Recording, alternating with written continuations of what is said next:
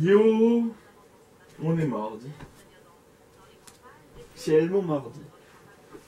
Ah Philippe Stoker, l'expert, qui me parle. Mettre ma casquette un peu là. Mike. Yeah.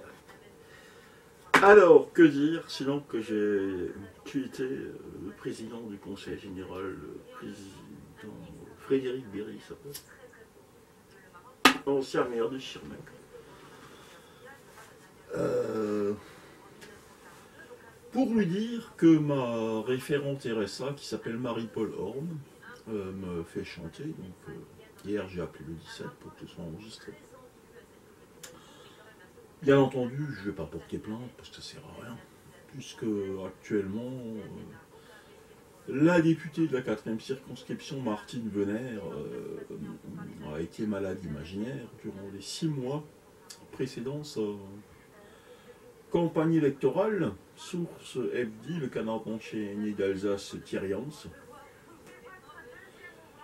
Anticor a porté plainte et le procureur de la République de Strasbourg a fait a donné un non-lieu cette affaire.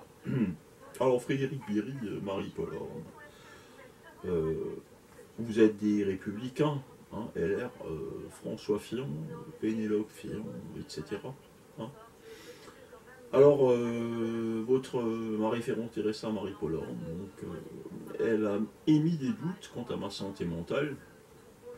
Il y a juste que J'étais euh, en ligne il y a une dizaine de jours avec euh, docteur Vincent Fonta du centre Pinel euh, qui m'a levé la curatelle en 2015.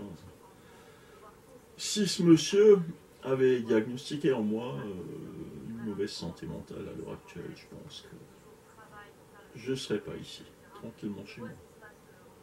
Cela dit, la DSM5 répertorie l'anticonformisme comme étant une maladie mentale. Et quand on écoute les sketchs de Georges Carlin, qui parlent des lobbies, qui euh, vous disent euh, quoi euh, croire, quoi penser, et surtout quoi acheter,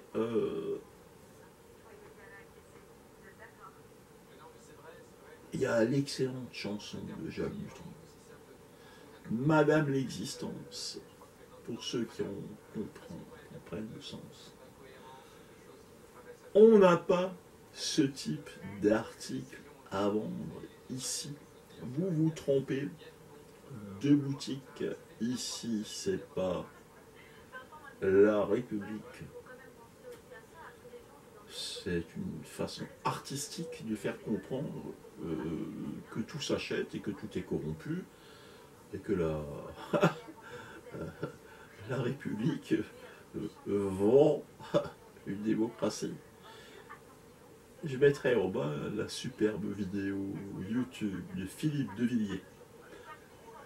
Le moment est venu de dire tout ce que je sais. Il a écrit un bouquin où il explique que les, euh, les, instituts de sondage sont corrompus, on les achète.